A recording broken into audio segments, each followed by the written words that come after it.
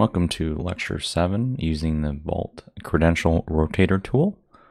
Uh, as you can see here, we've already set up our AWS secrets engine and we've also configured a new authentication method, LDAP, which you can set up on your own using the tutorial. It's pretty straightforward.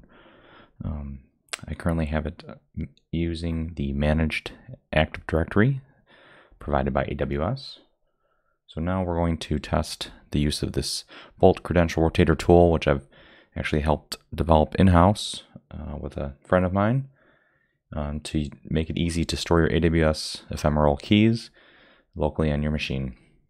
First, we're going to go ahead and download the Vault Credential Rotator tool, which I've provided the link in the external resources area. You can extract it. In this case, I've extracted to C colon slash vault. Also, one of the dependencies is that you have .NET Core 2.2. Um, I've also provided that link in the external resources section.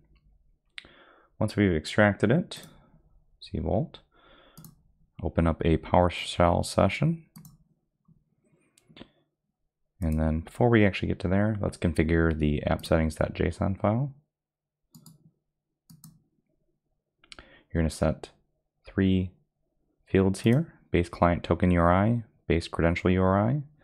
In this case, I have an example URL.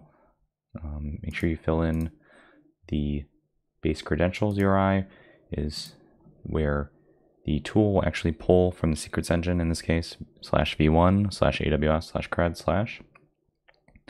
Then next, make sure you set a role.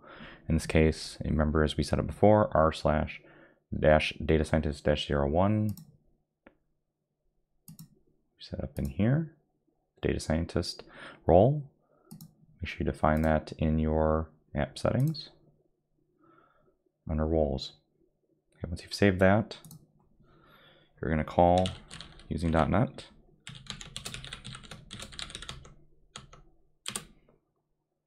You're going to enter your Active Directory user credentials you configured as an auth authentication method in Vault. I've set up an example here. Select your role. In this case, you can have many roles. Um, this one is just going to be the data scientist. And then, then it saves the credentials. And those are actually stored within your AWS credential store. So if we browse to C users,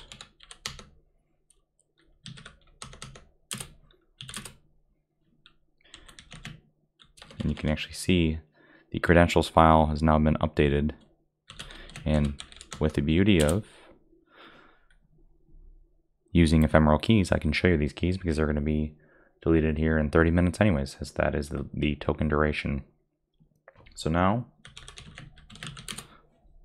we can call upon any kind of AWS command. And this is used strictly for AWS CLI commands. Um, it won't be used for anything else in the uh, near future. Uh, but you also will set the token duration for under the authentication method. So in this case, we have it set to 30 minutes.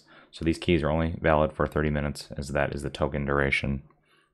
So within 30 minutes, remember to go and follow the same command. It will actually generate a new set of access keys for you and store them in your access credential store, um, AWS credential store.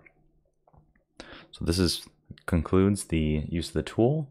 Um, you can follow our GitHub page and it'll be updated as we move forward. Thanks.